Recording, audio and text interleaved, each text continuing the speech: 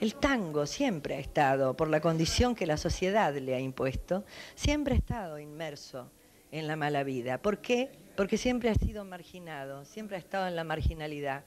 El, el, tango ni aún en sus mejores momentos cuando tuvo acceso a los grandes niveles, a los grandes escenarios, y si nunca tuvo la posibilidad de demostrar que era bello, que podría ser comparable a no importa qué canción popular del mundo, que para los danzarines era una música tan apropiada, es armónicamente tan bello, tan completo, siempre hay como una historia de orillaje que no se le perdona. Por eso la mala vida.